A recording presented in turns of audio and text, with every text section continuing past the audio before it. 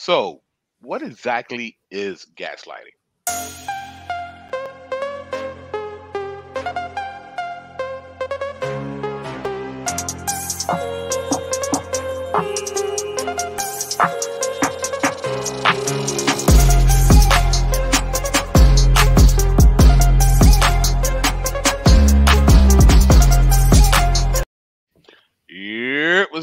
Party people in the place to be? I go by the name of the BK Apologist, transmitting all the way live. New York is the city, Brooklyn is the borough. What's good? What's popping? Happy first day of the week. I uh, hope everybody's doing well.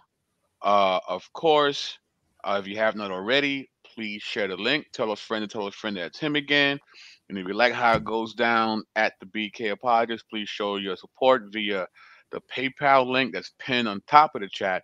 Or if you'd like to be a monthly supporter of BK, you could become uh, a patron where you get an assortment of teaching supplements to enhance your personal Bible study. And of course, we have the best and the brightest in the chat. Of course, I'm talking about the party people like Wild Wall all the way from down under. under. We got Devin Payne. We got Tyler Lott. We got Bodega Lady D New on the check-in.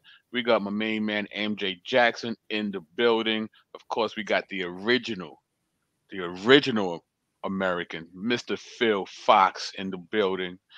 And I am with my uh co-defendant, uh co-conspirator, Mr. Apologist in Detroit. The, uh, that's it's Apple Apologist. Oh man. Oh man, you gotta get it right. Get it right. Got it right. Get get it right. get it right. So, um, we're here again, and we're gonna talk specifically about this term. But before we do, you know, we have a few comments about the response that that Brady has had for us. Uh, I'll like it to be brief. I don't know if that's gonna happen, but it's um, not I'm going gonna, to be brief, but it will be brief. Okay, so I'm gonna allow so, Mr. So first, I'm gonna give the floor to Mr. Detroit because he's chopping the bit to, uh, okay. you know. Yeah. So yeah. Okay. So yeah. So you know, he did the response video, and he made a couple of valid points.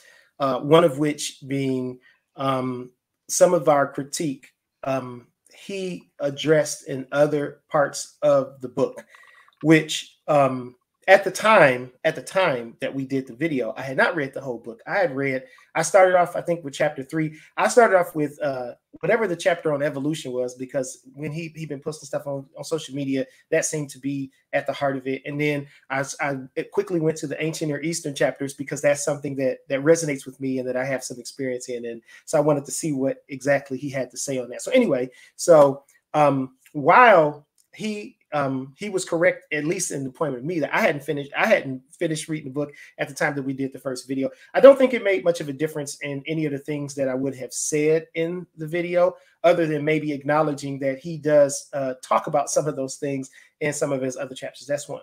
Two, um, I misspoke his name. I called him Godwin instead of Goodwin. He, I, I put on the video in the comments of the video uh, that I am dyslexic. Like this morning, yesterday, I was with Damon Richardson me and him talking, and I called him Brandon, like Brandon Cleaver, because at the time, that's how my brain works. If I'm thinking about somebody else, I was talking to him about Brandon, and that's why I accidentally called him Brandon. Anyway, I'm dyslexic. For those of you who don't know, my brain does that sometimes. I mispronounce people's names. It was never, it wasn't intended to be a insult or so. Um, and he's aware of that now. He accepted my apology. We we all good. We all cool with that. Um, I would even say that um, listening to him you know, the more I listen to him, the more I think of I think that this is coming from a genuine place. Like um I I, I feel like okay, yeah, he's had some he had some experiences and um with learning about some things and that rattled him and he didn't know how to resolve it or the way that he chose to resolve it was um, to apostatize to walk away from the christian faith because he saw these issues as irreconcilable okay now to some of my critique from his video, which was I was trying to have a conversation with him in the comments. It's just it's too complex or nuanced what I was trying to say, and I didn't think it was going to come across because I was trying to explain to him like I think it's inc- I, I, I accused him of, of being arrogant in you know thinking that he was qualified to um, to make the decisions that he's making or come to the conclusions that he's coming to. And I wanted to to add a little bit of nuance to that. So so every so onlookers as well as him, if he watches this video, he'll understand what I mean by that. Okay,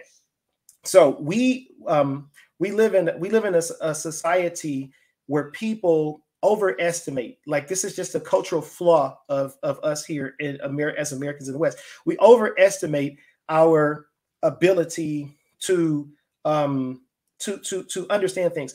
I think it's called the Dunning Kruger effect. I might be wrong. I have to look that up in a minute. Anyway, there's there's a term for it because you know sociologists have have recognized this. This is just something about us Americans. So what I was attempting to say was like, not only do I think that he isn't qualified, I would argue that I don't think that scholars are qualified. Now, again, nuance. What I'm not saying is that no one is qualified to apostatize. And, and, and the reality is people can make whatever decisions they want to make because it's, it's not a totalitarian society it's a free country and people can make that decision. But i think that that's part of the reason that people uh, you know feel like they're qualified to, to make these type of decisions. With a scholar a scholar goes and he either gets they he that he she they whatever whatever whoever they are they get a, they get a degree in a very small, concise part of scripture, or they get it on some broad narrative of scripture, but they're not getting it on the whole scope of scripture. And the whole scope of scripture, it, it, it spans over a thousand years. It's multicultural, so it's got Egyptian culture woven in, Babylonian culture woven in, Greco-Roman culture woven in, and so it's got all of these aspects of the, the cultures that the, the, the Jewish people interacted with woven in because that's just how they communicated. That's part of this aspect of polemics that that we we've been discussing. And so if you only if you're only qualified to speak very definitively on a very small portion or a very broad aspect of scripture how is it that you're qualified? To me I, when i say qualified i mean like hey could you go before uh, if you were to go before a panel of experts to, to speak on this like would they consider you an expert or would they consider you a novice? And i think for the most part all christians to some degree are novice even though we can have um, a, a, broader uh, understanding than others. And that's because you know we're really talking about our traditions you know we all come from traditions. Some people Eastern, some people are Orthodox, some people are Catholic, some people are Protestants. And then there's a bunch of different branches in all three of those major branches of the church. And those those different branches, um, you know, they basically streamline what they think is true about Scripture. And and and I am convinced, I'm convinced that um, Brady Goodwin is struggling to recognize that what he is not actually doing is critiquing the people of scripture, but he's critiquing the, the people, the scholars, the theologians, the people who have who have given him his tradition. Here he's critiquing their understanding of what they believe that the people of scripture actually believe. And therefore, a, a lot of his critiques fall flat because they're not they're, they're not essential. They're not genuine Christianity. They're just not and maybe there is no such thing as a as a genuine uh, authentic christian stream in the thing in the sense of the apostles uh, what the apostles received from jesus or what the israelites received from yahweh you know? But i don't think that that's i don't think that that that causes any problems because humans have always struggled with comprehending you know the totality of god. None of us had from the oldest part of uh, the old testament to the to the oldest part of the new testament I don't think other than maybe Jesus, anyone in scripture fully comprehended it. We they had enough of the truths of God in order for them to embrace Yahwehism, Christianity, follow God, and the rest of it is just like every other aspect in life. I don't have to figure, and I, am almost done, BK. I don't have to figure out all of uh, finance in order for me to invest. You know, I don't have to know every single detail about the, the, the woman Constance that I married in order for me to marry her. Like you don't have to have exhaustive knowledge of anything in order for you to have a, a, a general enough understanding to it to invest in it. That's the point that I'm making here. So when I say that he's unqualified, when I say that I think most people are unqualified, what I'm not saying is that nobody can say I don't buy this and turn away from it. I'm saying if we were to have an honest assessment of ourselves, we would recognize that hey, this thing is too vast in scope for me to assess in an effective way. And what I can say is that hey, I don't get it. I don't get it, but I'm not necessarily qualified to say that it's absolutely false. So anyway, that's kind of my nuanced point on the.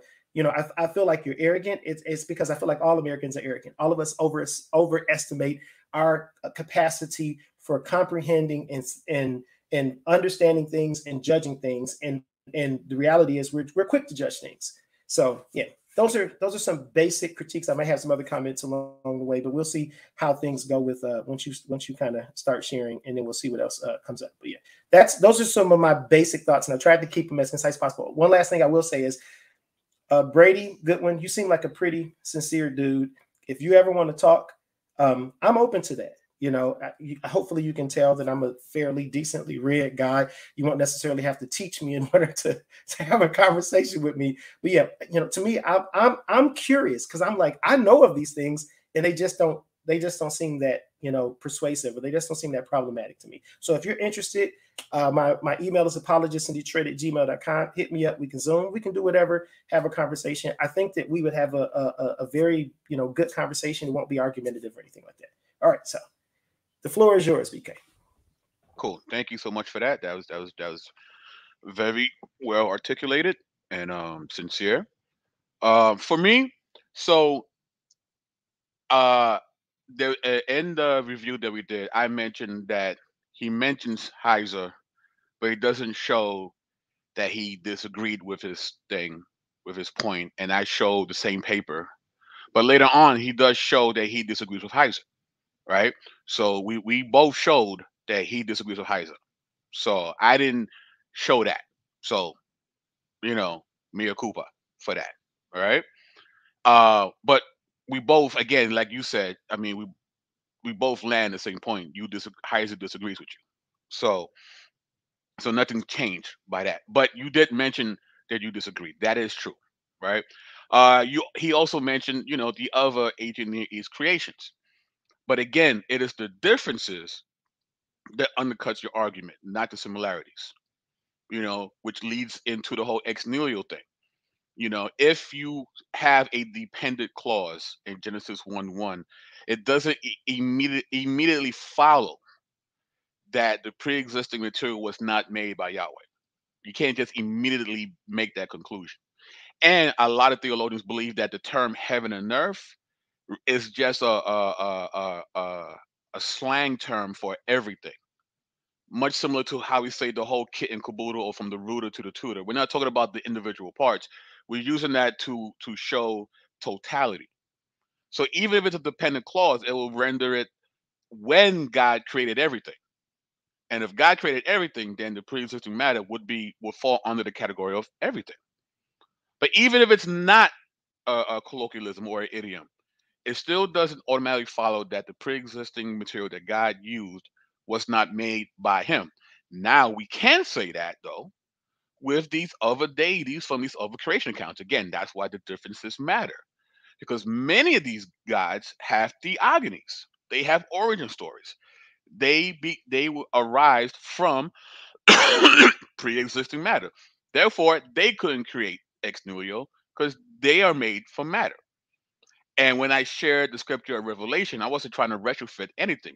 That was a separate event where we see God creating without any matter, because in the vision that John had, he said that the old heaven and earth vanished and no longer existed. Which, by the way, is what ex nihilo in reverse, because we know in science that you can't destroy matter, it, but God did. So that's kind of interesting too. Um, he brings up the thing about Israel being a young civilization. And it's true, they're young in comparison to the other ancient civilizations, but it falls within the age range of ancient history. So the point still matters there. Okay. Um, what else? What else? Is there anything else? Uh uh yeah, I think I'll leave it at that. So so again, I said he didn't disagree with Heiser. He did. mea culpa, right? So, but again, I was focusing on that chapter. So there it is, right? So, anything else you want to um, chime in on? Yes, I have more to say since we have a little bit more time. And don't worry, I, this won't be that long because I got a Zoom meeting at night. okay, so one of the things that he brought up was um, mytho history And uh, mytho, mythohistory is kind of a new-ish term. It's uh, um, I can't remember who coined it. Um, first person I heard talking about it was William Lane Craig, and my mind works like, "Ooh, that sounds interesting." Let me, let me, go, let me go look into this and find out what mytho-history is. But um, mythohistory does not mean that something is not literal. It just um, in a high context world, which we defined in the first video, in a high context world, like every the primary way that everybody communicates is oral. That's the primary way.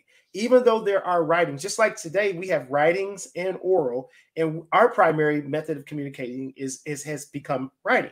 So, you know, that's what we do. We write books, we write blogs, we write articles, we send letters and we send emails. You know, that's our that's a that's a primary way of us communicating, particularly for mass communication.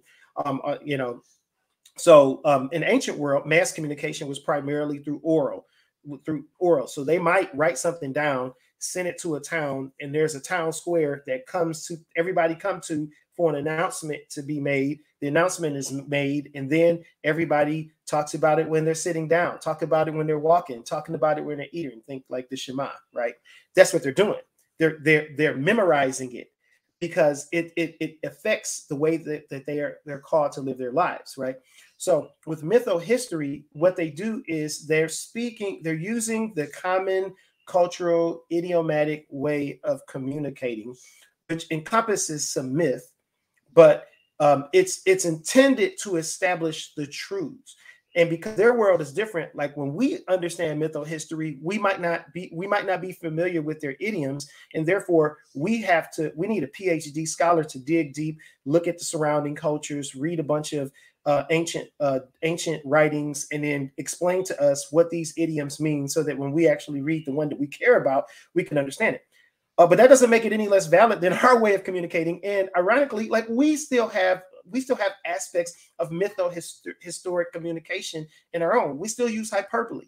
You know, you still see a sports article that says one team killed another team, and we know that nobody died because we're we are fluent in our cultural idiom so we know what killed mean within that particular context and we know the difference between that story and a story on the front page of the news about you know some uh, unfortunate incident that has happened we have um, if, if, if you recall, it's not as common today, but early on, particular in colonial America, they had what's called tall tales, where they would do, do a similar thing. This is similarly at a time where writing is kind of on the rise and as a form of mass communication, but oral communication is still this very familiar thing. So, you know, what they would do is they would take a story like a, a, a guy named John Henry that was really proficient at laying railroad tracks, and they would elaborate it and they would they would add um, elements of myth to it.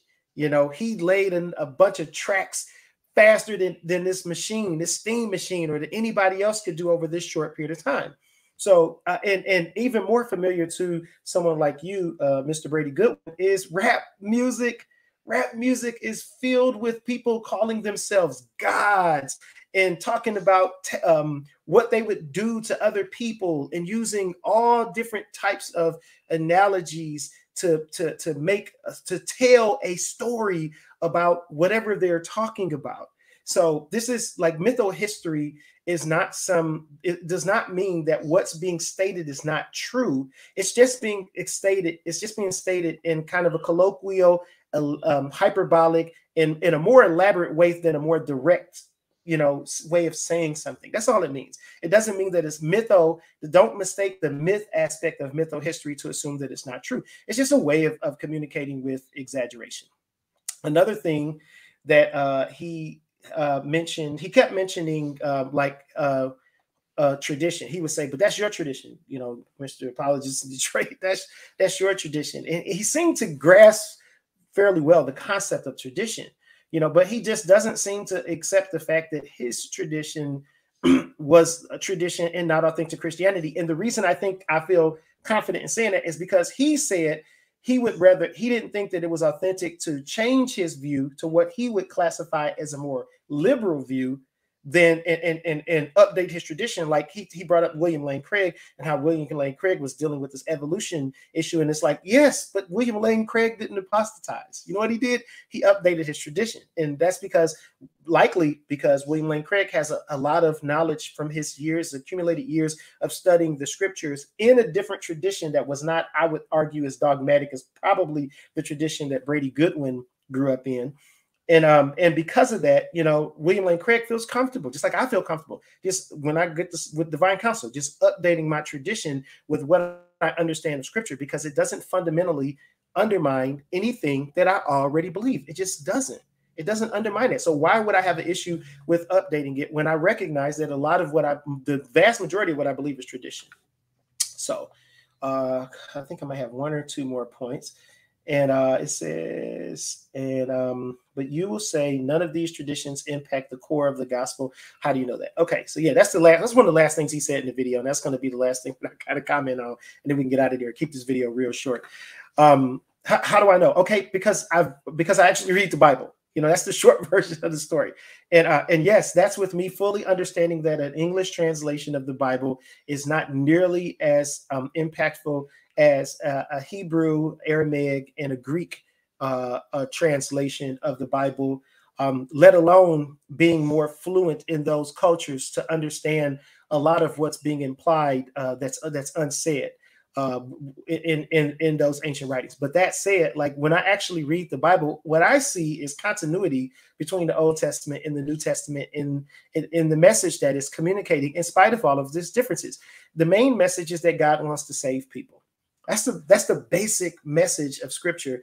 And in spite of all of the complexities and stories in which this message comes through, it seems to shine through fairly clearly. You know, God um God uh, partners with humanity with with eh, with uh, a priestly coupling of a, of Adam and Eve, woman and man, in a in a in a garden, which is a temple in the ancient world, and he he he gives them this in this temple that has fruit trees, that has water, has gold and onyx has all the necessities of a flourishing life. He gives, he places them in this gardener garden, partners with them, and he's using them to teach humanity how to how to know Yahweh and uh, their God and how to live the good life that Yahweh has prescribed for them, the flourishing life. Adam and Eve rebel. They decide, hey, I know better. I know good. I'm smart. I can do this on my own. I don't need you, God, to tell me how to teach fellow humanity how to flourish. I can figure it out own. And that's called the fall. And what and instead of teaching to how to do righteousness, they teach how to do evil, sin. And so all of men spiral out of control, being passing down sinful ways further and further down from this line. And eventually God elects a new priestly line.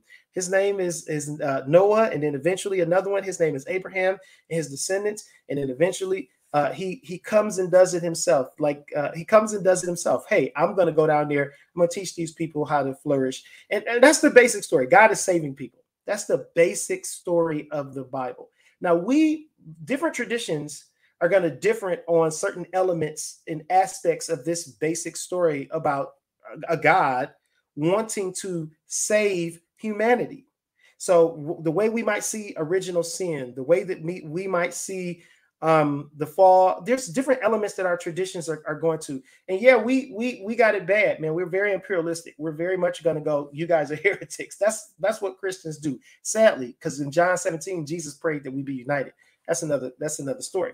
So at the end of the day god's a god uh, abraham um asked god when god was talking about destroying uh destroying sodom and gomorrah he says shall not the creator of the universe do what is just and if you read the rest of the scope of scripture, that's how God describes himself. He's the God of justice and righteousness. Go read the Psalms. If you read the that's how if you if you follow the the, the Israelites' understanding of God, that's how they see him. He is the God of justice and righteousness. Read like Psalm 72, right? Um, you get to the New Testament, and it's the same thing.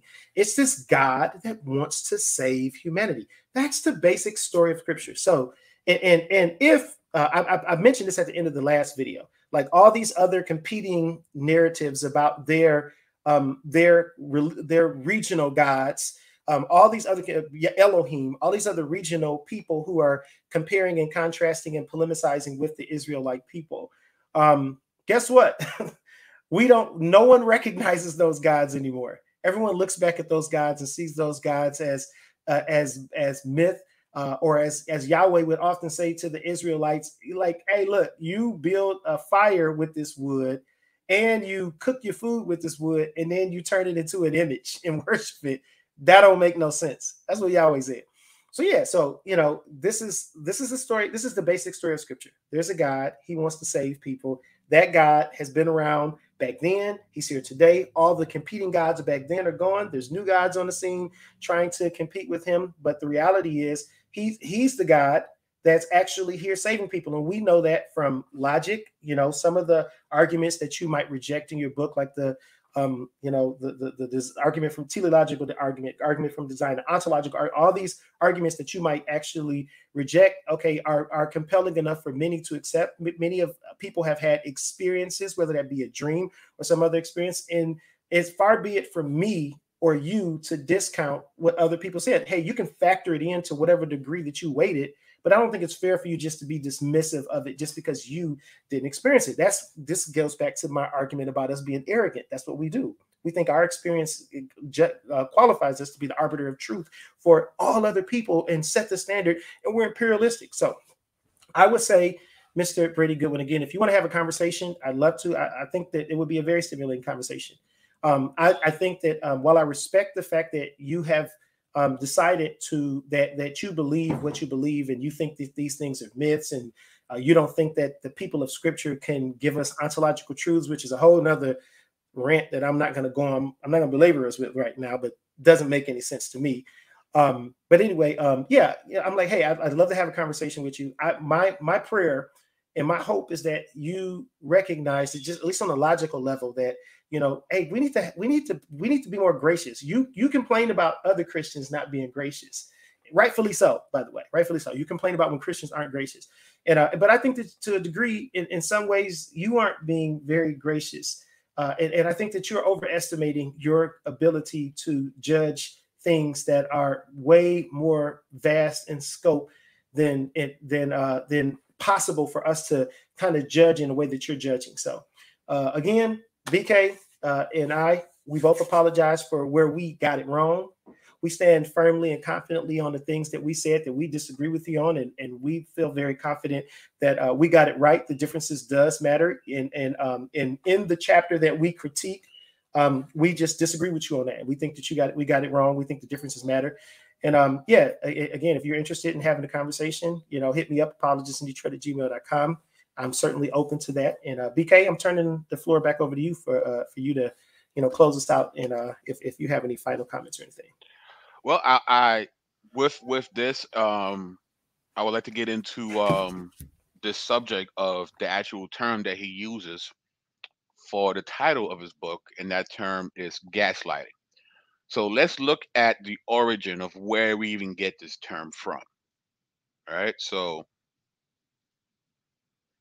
all right. So, Gaslight is a 1944 American psychological thriller directed by George Cukor and starring Charles Boyer, Ingrid Bergman, Joseph Cotten, Angela Lansbury in her film debut, adapted by John Van Druten, Walter Reisch, and John L. Balderston from Patrick Hamilton's play Gaslight, 1938. The term gaslighting comes from the movie Gaslight, in which Gregory deliberately tries to make his spouse Paula lose her mind by manipulating her, her friends, and her physical environment. Gregory's aim is to have Paula hospitalized for mental instability so he can gain access to her jewels. We witness him engaging in one crazy making manipulative move after another. Over a stretch of months, he takes a brooch he claimed to be a prized heirloom out of Paula's purse to make her doubt her clear memory of having it put it there. He places his own watch in her purse when she's not looking, accuses her of stealing it, and then, quote, discovers the watch in her purse while she is in the company of friends who, unbeknownst to Paula, he's warned that Paula is unstable. This last incident not only upsets and confuses Paula, but is constructed by Gregory to be public so as to, to provide her friends with apparent, quote, evidence that she's losing her mind. It's also thereby contributes to Paula's increasing sense of isolation. The title of the movie is drawn from the following manipulative move. Gregory regularly searches for Paula's jewels in the attic, and when he does so, his turning on the lights there has the effect of dimming the gas lights elsewhere in the house. Every time this happens, Paula queries him about the gas lights dimming, and each time Gregory insists Paula is imagining things, suggesting that this too is a sign of growing mental illness. All the while, Gregory is full of expressions of purported concern. Why don't you rest for a while? Do you really want to go out? you know you haven't been well, etc. All right. So this is the the the film and the premise, which where we get this term from. And Merriam-Webster, right, the definition of gaslighting is psychological manipulation of a person, usually over an extended period of time, that causes the victim to question the validity of their own thoughts, perception of reality, or memories and typically leads to confusion, loss of confidence and self esteem, uncertainty of one's emotional or mental stability, and a dependency on the perpetrator. Gaslighting could be a very effective tool for the abuser to control an individual. It's done slowly, so the victim writes off the event as a one off or oddity that doesn't realize they are being controlled and manipulated. This is a classic gaslighting technique, telling friends that others are crazy and lying, and that the gaslighter is the only source for quote truth information. It makes victims question their reality. Okay. Uh, this is from the book called Gaslighting by Stephanie Sarkis, PhD. Uh, she says, What does gaslighting really mean? And where did it come from? The term gaslight as a kind of psychological manipulation was first added to the Oxford English Dictionary in December 2004, although the documented use of this word and its variants goes back to 1952. In fact, the term seems to have been coined by Patrick Hamilton in his 1938 play Gaslight and first made popular by the 1944 movie Gaslight, directed by George Cukor. Starring Ingrid Bergman and Charles Boyer. Gregory Paula's husband tries to convince her that she is going crazy, losing objects precious to her hearing and seeing things that aren't there, thinking the lights are flickering when he claims they are not. It turns out it was all been set up to quote gaslight her. I'll leave the rest for you to discover if you haven't seen the film. Gaslighters use their own words against you, plot against you, lie to your face, deny your needs, show excessive displays of power, try to convince you of quote alternative facts, turn family and friends against you, all with the goal of watching you suffer, consolidating their power and increasing their dependence on them. Okay, there's a PhD really unpack, unpacking this term, okay, and, and what it, it, it includes. Gaslighting shares characteristics of other personality disorders.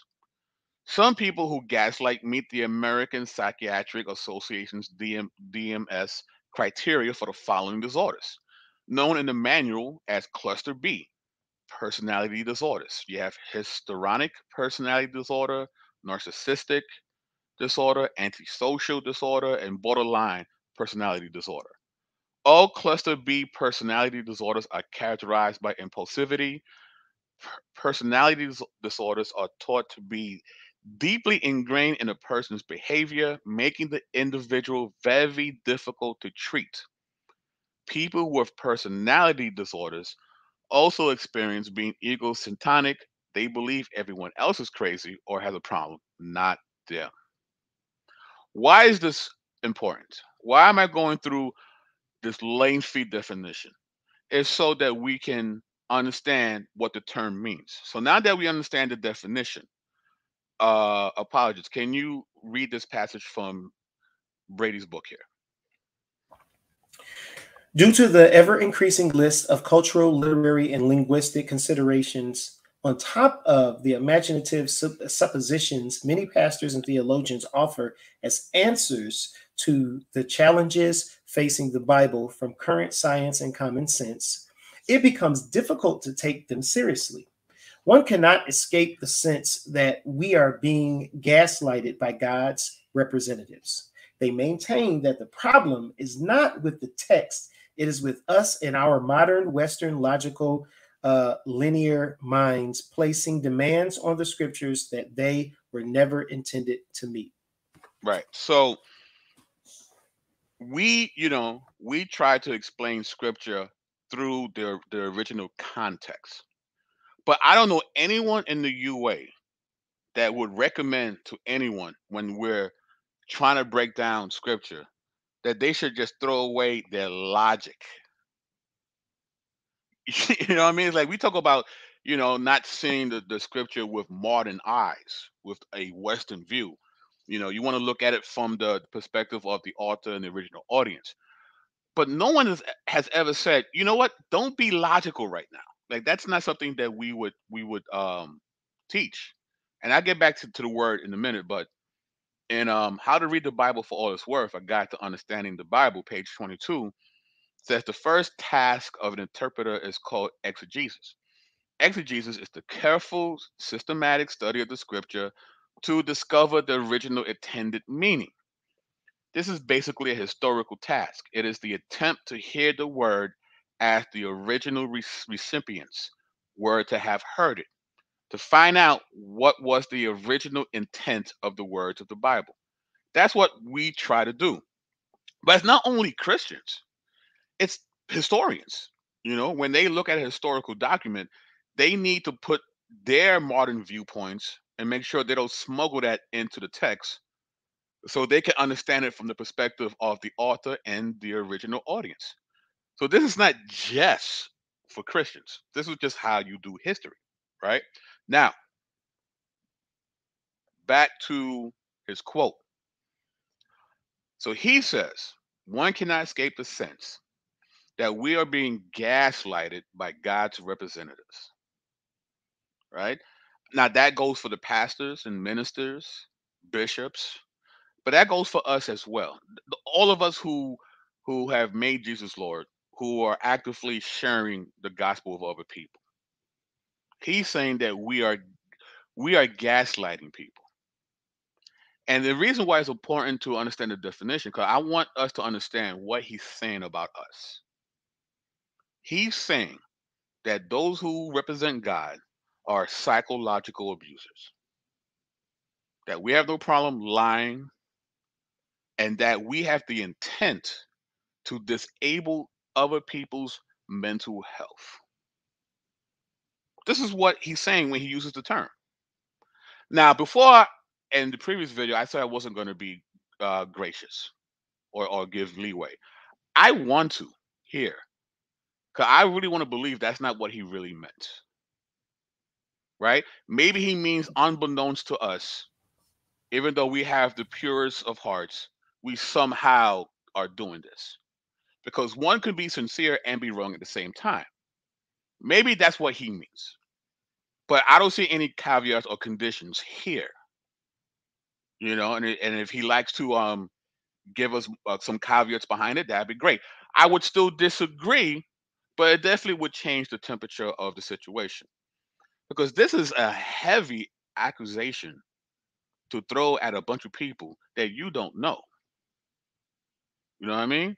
Uh, as Dana um, said earlier, let me see if I can find her what she said.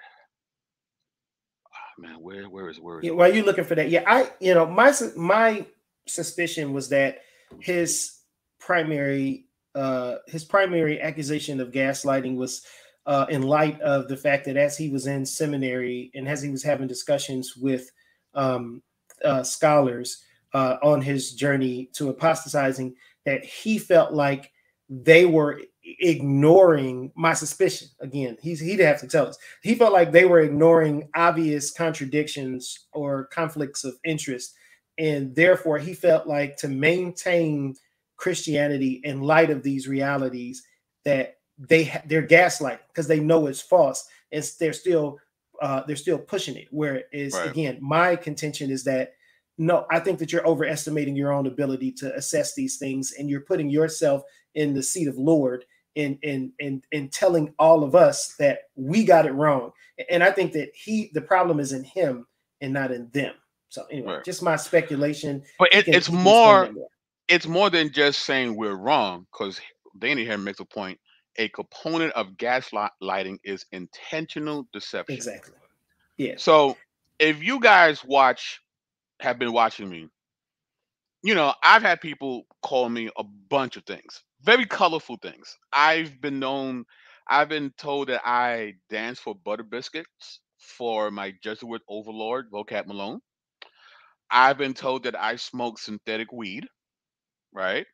Uh, people have said that, you know, I, I eat pork chops, but I've been plant based for like four years, right? People say the craziest stuff about me, and a lot of it's funny and I laugh with you, you know. But the, the one thing I don't laugh is when you say that I didn't say something that I didn't do or say. Yeah, MJ, right, right. Fried chicken. They said I'm eating fried chicken. Well, they said pork chops too, but that's another story. That's yeah, yeah. Meat in general, right? But if I have an issue when someone says I did or said something that I didn't do or say this is a scathing accusation. You're saying that I am a psychological abuser. You're saying that all of us, me, Chris, the people in the chat, anybody who tries to be an ambassador for Christ, a representative, is a psychological abuser. That that's my intent. That I am trying to cause people to go insane. That's what the term is. I mean, let's let's let's let's go back. Look, look. Right? Um gaslighters use your own words against you, plot against you, lie to your face, deny your needs, show excessive displays of power, try to convince you of alternative facts, turn family and friends against you, all with the goal of watching you suffer, consolidating their power and increasing your dependence on them. Is that what you think we're doing? How do you know that that's my intent? You know what I mean? It's like, how do you know? How do you know that's any of our intent? You don't know me. You don't know Chris. You know, if you want to say we're wrong or, you know, we're incorrect, we don't know what we're talking about, that's fine. But to go as far as to say that we are, our intent is to destabilize people's mental ability that's like how can you say that about us? So I, it, it's it's it's I think it's hypocritical for you to feign offense when you come out the gate saying that we're psychological abusers. And, and here's here's the thing: you're old enough not to do that. And what do I mean by that? You didn't grow up with the internet. You didn't. And you're an MC. So you've been in certain circles and certain environments that you know if you say certain things, you better show and prove, or there will be immediate consequences. Right? Because a lot of people on the internet are purposely toxic because they feel safe to say whatever they want to say behind their keyboards. You know what I mean? So you know, and, and this is not okay. I'm gonna say this. This is not to to to dig this is just a like reflective moment, like that Georgetta Carvin's uh, comment. Like the last two years, while he's been kind of wrestling with this in the backdrop, he's and he's presented himself in the public, or to some degree, I imagine in the public. I don't know him. I don't know his circle as he was still being Christian, or for whatever period of time that he did that. I mean, that's more akin to gaslighting than actually the the average Christian or even the average Christian theologian who don't necessarily see the the the, the challenges uh, in, of interpretation as prob as problematically as he does. So yeah, I, th- that was just that just kind of popped out to me. Um, I also thought of an analogy, if if that's okay. Yeah. Okay. If you took a person from anywhere in the ancient world, and and and you you gave them the ability to comprehend language, so that's not a barrier, right? But you were and you transported them from anywhere in the ancient world to today. I mean, imagine what life, what their experience would be. Like virtually everything would seem like magic to them. You know, mass transportation of any form, a bicycle, a car, you know, an airplane. It's incomprehensible to be able to traverse the amount of space that we can today due to the advancement of technology. But we recognize that as, as technology, and it's just woven into the fabric of our everyday life the way we don't even think about it. We just think I got to get on the bus. We think we don't even think about the complexity of an of a of a, a, combustion engine, let alone an electric motor. Now that we're getting all these electric cars and such, right? right? Um, uh, the way that we can um, genetically modify food to mass produce it to where there's no there's no famines. Have you ever noticed that there's no famines? You read about all these famines in the Bible. Now here there's no famines. It's because of GMO it's because of growth hormones with with with our cattle uh, that we we we produce bigger, more robust crops and animals so that we never run out of food. As a matter of fact, here in America, we throw out more food than some countries consume in, an entire year because we're such we have almost half a billion people here in America, and we have this big eat out culture that we don't eat all the food, we take it home, we throw it out. So it's like we don't like if, if you transported a person from the ancient world of, at any time to today and the language barrier was not a barrier, it would they it would they would struggle to believe the stuff that we're telling them. Or if you transported us back to their time, they would think that we're crazy. They would think that we're the we're the wackos because we're telling them how easy life is in our time, when in their time these things are incomprehensible. Likewise, when we get transported back into their time by reading their literature, some things are incomprehensible to us. We can't even begin to fathom and imagine some of the things that they have experienced that they are testifying to us because our experience just so happens to be different. So again, this this no this when I'm arguing that it, it's arrogant, it's arrogant of us to try to superimpose our modern sensibilities, uh, cultural, uh, social mores, cultural standards our way of thinking and our way of understanding the world it's it's wrong for us to just impose that on them. We have to transport ourselves to their time and do our best to understand the world the way that they understand stood the world and in order for us to grasp whatever truth that they were attempting to communicate to us. That's just the reality and and and, and, and again i just think it's i just you know i, I really want to i really want him to introspect, to reflect on this. I really want him to have a more balanced and sobering um, respect for the, the, the, the gravity of the vastness of data, of information that you're trying, that, that you have claimed that you understand so well that you can make a definitive judgment the way that you have. And not only that, you, you your judgment is so convincing that you think that those who disagree with you at least some of them are gaslighting people, are psychologically psychologically manipulating people and exploiting people and trying and, and making people making people unstable. That just you know that just that seems like a like as BK was saying that just seems like a a, a very that seems like a very uh, you know that seems like an overreaction. That's way too way too much of a of a um that's way too much of a of a of a of an accusation, gaslighting, one. And then two, I just think that, you know, I just don't think that anybody's qualified to really, you know, judge with in, with any definitive. You can just say, hey, I've seen enough and I'm not interested and I want to move on. That's one thing. I'm not interested anymore, or I'm more of a skeptic than a believer. That's one thing. For you to just say that none of this is real, none of this is real, and all of this, it, to me, I just feel like that's your modern sensibilities getting the best of you and, and you need to reel that back in.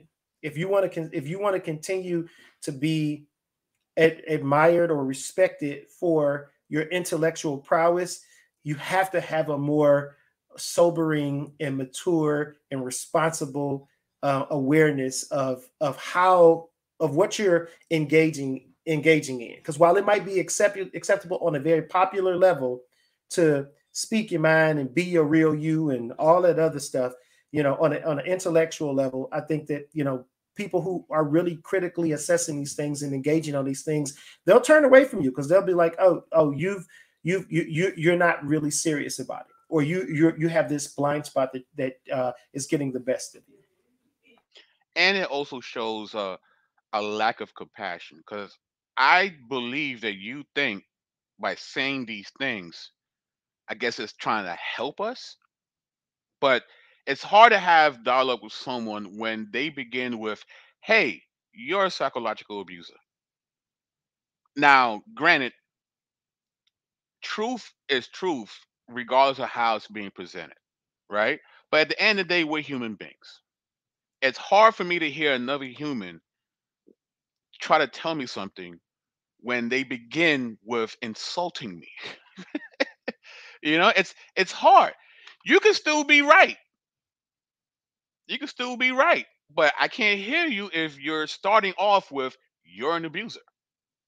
So with that, you know, I, I just just be more mindful next time of your critiques. Critique away. Disagree as much as you want. But critiquing and then accusing people of what that that you don't know of of certain things that you never seen them do, that's that goes beyond mere let me show you where you're wrong. So in the future, it'd be great if you don't go and and and listen, maybe they know the whole definition. You read the you saw the title, you thought of it. It's a bar, right? It's catchy. It's a little spicy, right? I get that. Okay, but I don't know if you understand how how to be honest how disrespectful that is to a bunch of people that you don't know. So if you could just be more mindful, we would greatly appreciate it, and and and we can continue having or or well start a dialogue if you would like, and we, you know, and and we won't go into the mud and sling stuff at each other, and just have an actual dialogue to see if we could come to some sort of conclusion. All right, so with that being said, uh, we're gonna wrap it up. Uh, I'm gonna give apologists the final word, and we're gonna be out of here. So, I just want to reiterate, you know, the apology for the miscues, the reaffirmation of the convictions, and um, and and uh, re uh, and and into into uh, having a, a, brain fog at the moment. But yeah, but just just re-extend this um, notion of hey, like listen, if you ever want to talk, you know, I'm more than interested. It'll be a very gracious dialogue, and uh, it'll be a very gracious and respectful dialogue, as I think it would be with BK if you're interested in talking to him either. So thanks yeah, everybody I, for coming in tonight. Yeah. There's no hatred here, man. There's no hatred. I, I dislike what you said and what you called me. That's not cool. But you know what? We we could get past that. We can actually get past that. If if you stop calling people that, we could get past it.